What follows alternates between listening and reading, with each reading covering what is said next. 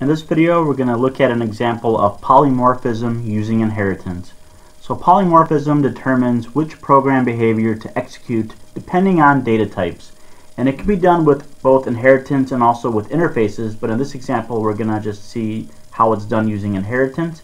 And in a future video I'll show it again using interfaces. And polymorphism, just to give an example in the real world, imagine if you went to the zoo and you saw all these different animals. You saw giraffes and elephants and zebras and gorillas, and you told them all one command. You said, speak.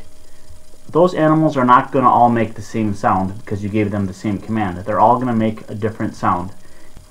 So let's write a Java program that'll demonstrate this concept of polymorphism using inheritance.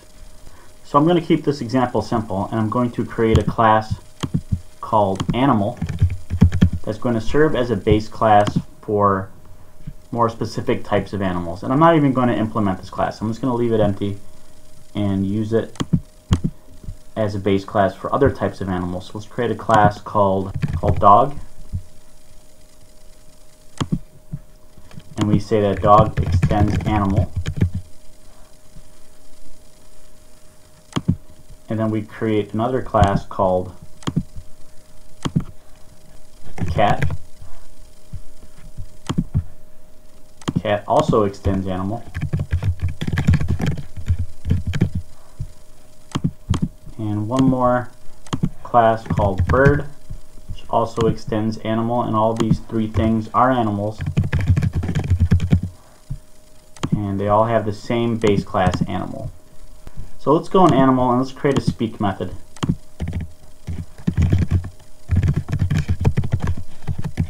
We don't know what an actual animal says. So we could just post a question mark because an animal is an, is an abstract thing. And later on we'll learn about abstract classes and abstract methods. So don't worry about this too much. But what we're going to do is override the speak method inside dog and say, oh, I'm just going to copy this code, make it easier. Dog goes woof. Cat goes meow, and bird goes tweet.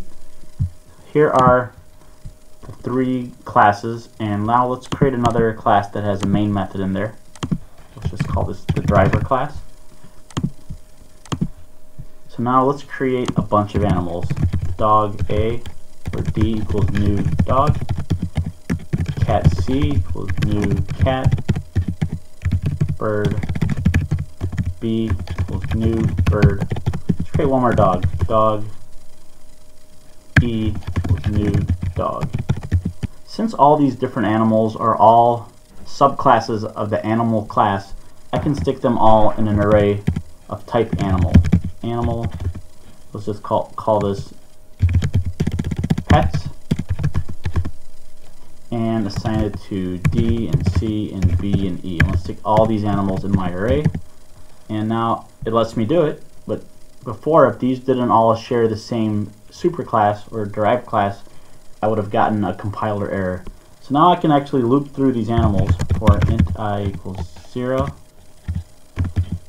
i is less than pets dot length so that should be 4 because there's 4 pets i plus plus and each loop iteration as I'm looping through the pets array I'm going to say pets at index i speak. Run the program and you can see that depending on the type of animal a different sound was made.